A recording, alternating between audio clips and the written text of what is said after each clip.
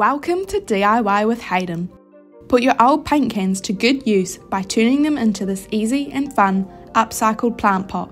So let's get stuck in. To begin with, you will need the following products on screen. You can choose whatever Rust-Oleum spray paint colours you want, of course. However, the 2X Ultra Cover Paint and Primer was perfect for coating the paint can, as it provides a smooth, durable coat that is perfect for use on metal. As for the wooden outing, the chalked ultra matte spray paint comes in a range of trendy colours that give you a velvety smooth finish that is great for refreshing old furniture and home decor, or even old paint cans. Once you have your materials ready, clean your paint can and use this to figure out how you'll cut the wood. We opted for six longer leg pieces that are placed in pairs to create three legs. So our measurements ended up being 6 pieces at 180mm for this, and 19 pieces at 140mm for the decorative body pieces, but feel free to get creative with this. Lay out your Haydn plastic protection sheet and grab your Haydn tape measure to mark out where you need to cut. We definitely recommend using a finer tooth saw to help make your cuts cleaner. Unfortunately, we didn't have one handy at the time of filming, but this is where the Haydn dry rubbing sanding sheets come in handy.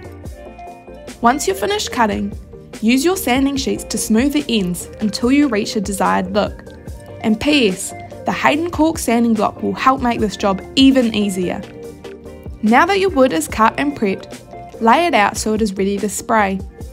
Grab your Rust-Oleum chalked ultra matte spray paint and shake well before you begin to spray in a steady back and forth motion approximately 25 to 30 centimetres from the wood. Make sure you don't miss the ends or the sides. While this is drying, you can get to work on the empty paint can. Again, ensure you shake your 2X Ultra Cover paint well before spraying approximately 25 to 40 centimetres away from your paint can. Due to its breakthrough technology, you get twice the coverage in a single pass, meaning we only had to use one coat of this spray paint to achieve a flawless finish. Once all coated, it's time to bring it together. Using a hot glue gun, glue all of the wooden pieces where you would like them. We opted for spacing them slightly apart so the underneath colour shows through, however feel free to get creative with this. And lastly, the final touch, add in your plant. It's as easy as that to create this fun, upcycled planter which makes great use of your old paint cans. Be sure to keep your eye out for more DIY with Haydn projects and stay up to date with everything else Haydn by following us on all of our social media accounts. Until next time, this has been DIY with Haydn.